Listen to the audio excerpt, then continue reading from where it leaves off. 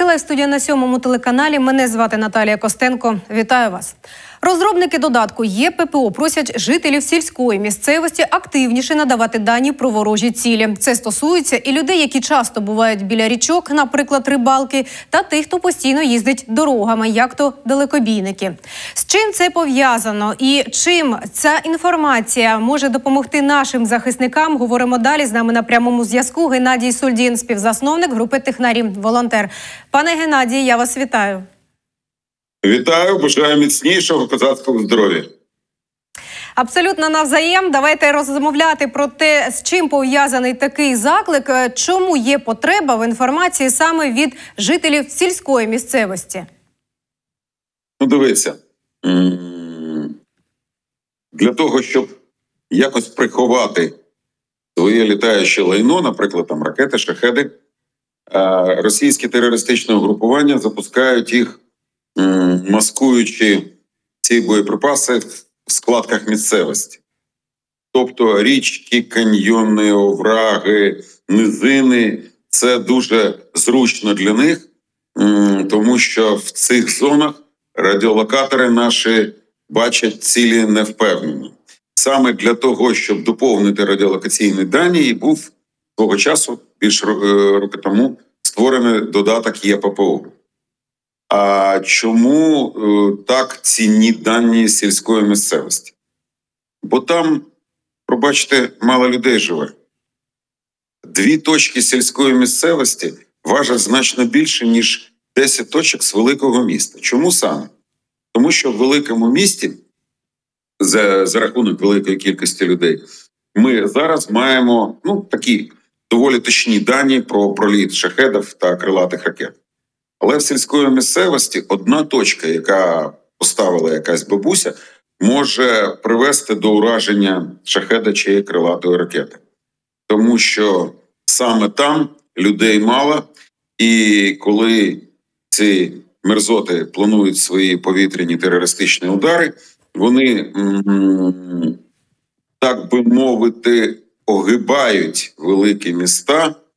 І ми, наприклад, в Одесі бачимо чи чуємо шахеди дуже тоді, вже коли вони на фіналі атаки. А треба перехватувати ці повітряні цілі заздалегідь, коли вони ще підлітають до об'єкта атаки, до своєї цілі, і тому сповіщення від з малонаселених районів, ну так би мовити, для нас на вагу золота. От ви згадали про бабусю в сільській місцевості. А на ваш погляд, дефіцит інформації з області сформувався через недостатній інтерес мешканців до додатку ЄППО? Чи е, може через е, проблеми з покриттям операторами е, віддалених населених пунктів мобільним інтернетом і тим, що мешканці, яких і так небагато, не всі користуються сучасними мобільними гаджетами, які підтримують додатки, в тому числі і ЄППО? Ну, дивіться, додаток ЄППО підтримують не тільки сучасні гаджети, бо цей додаток дуже невимогливий до апаратного ресурсу.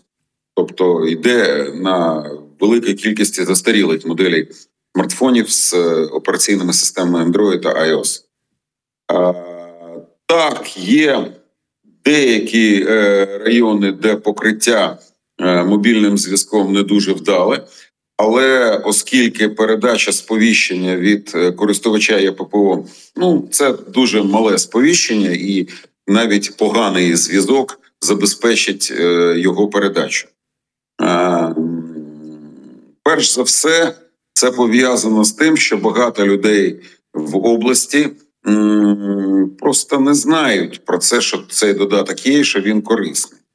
Зараз ми проводимо спільну роботу з Одеською обласною військово-цивільною адміністрацією, і на всіх ресурсах е, е, реадміністрації та ОТГ вже розміщені посилання на додаток ЄППО і краткий опис його роботи. Для того щоб е, цей додаток працював краще, нам треба більш користувачів. Зараз зараз в нас більше 460 тисяч користувачів. для того, щоб дані, які будуть формуватись, мали точність е, ступінчато вище. Нам потрібно 600 тисяч користувачів. Наступна мета мільйон користувачів. Бо коли в нас буде мільйон користувачів, е, точність даних по маловисотним, малопомітним цілям буде майже вище, чи ніж існуюча в світі радіолокаційна. Так показують розрахунки, так показує наша, так каже наша нейромережа, яка дуже довго, більш року навчалась, і ми їй віримо. Пане Геннадіє, а чи є зараз можливість у нас поговорити мешканці яких районів Одеської області, так би мовити, вас цікавлять в першу чергу як користувачі ЄППО? Безперечно, це е, південно-західні е, райони Одеської області. На жаль, саме в цих районах, які в в Придунаві, в Бесарабії, на жаль, щільність е, користувачів ЄППО найнижча в країні. Не в області, в країні. Тому нас перш за все цікавлять мешканці цих районів. Ми прогнозуємо продовження. Ну не ми прогнозуємо, військово прогнозують продовження нальотів на інфраструктуру Придунавія та Бесарабії взагалі.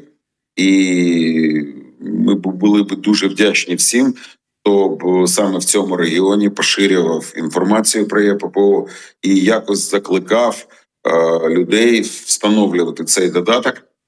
Це ж не тільки про допомогу протиповітряній обороні, це ж ще про попередження людей, що саме в їх бік рухається повітряна ціль. Ураження може бути в будь-який момент, тобто треба не вести звичайне життя, відійти від вікон і краще за все сховатись там, де найбільш безпечно, в найбільш безпечніше місце з можливих. І останнє питання. Просто давайте нагадаємо нашим глядачам, можливо, навіть тим, хто вперше дізнається про додаток ЄППО з цього інтерв'ю. е, Що це таке, де закачати, завантажити цей додаток і як ним користуватися? Що це таке? Це додаток, який дозволяє цивільним громадянам України, по-перше, сповістити протиповітряну оборону, що вони бачили вдень чи чули вночі шахет крилату ракету. Е, По-друге, він дозволяє не тільки попередити військових, щоб їм було зручніше і швидше уразити ціль, а ще й попереджає інших українців, користувачів ЄППО, що саме в їх бік рухається повітряна загроза, і це, це небезпека для це особиста небезпека для них. Як і ідея його завантажити, додаток працює на смартфонах Android та айфонах. Ну, відповідно, завантажити його можливо на Google Play та App Store. І користуватися їм дуже просто зручно. При завантаженні треба од- один раз ідентифікувати, ідентифікувати себе як користувача, як спостерігача е, в додатку Дія. Це робиться напівавтоматично. І після цього кожна людина може, по-перше, сповіщати про те, що вона бачила чи чула щось в повітрі. І, по-друге, отримувати персональні е, попередження про особисту небезпеку. Додаток дуже простий, дуже зручний і тестувався на багатьох тисячах людей. Додатку більш року. Нагадую, перше бойове застосування додатка було майже рік тому. Через вісім днів після його виходу була уражена за допомогою пильних громадян. Було уражено крилату ракету.